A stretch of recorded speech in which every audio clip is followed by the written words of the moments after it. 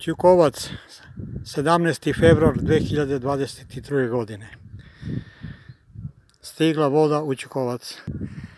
Trenutno se radi krak prema granicu, prema potokarima. Zdravo, brate! Ej! Jao, braće, jebo te Bog. Ne ono opušti čonek. Krak za Miki Aju.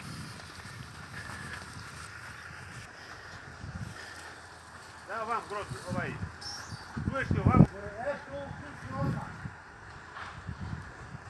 I Žik autoškola priključio. Bravo Žile, pozdrav iz Ćukovca. Za psovanje. Ali u Čukovac ništa ne može bez Simu Lazarevića. Simčo, zdravo! Zdravo, Rale! Evo, će nakvasimo i ukvasimo pomalo. Došlo vreme. Došlo vreme, pa nema.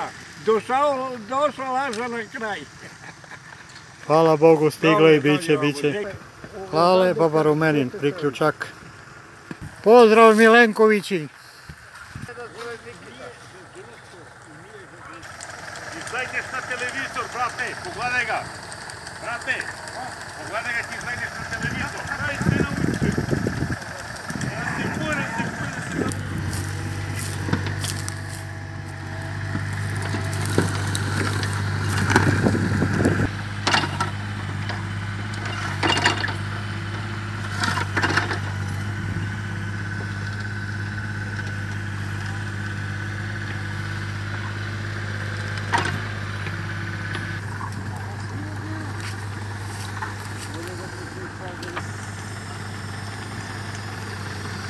Ah, always pass.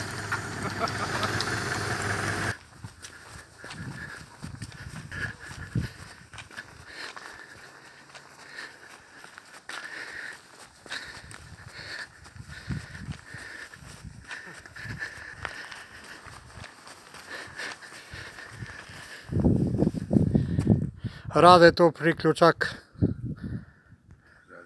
Betoniranje šakte produžava se prema centru sela Crevo za Rid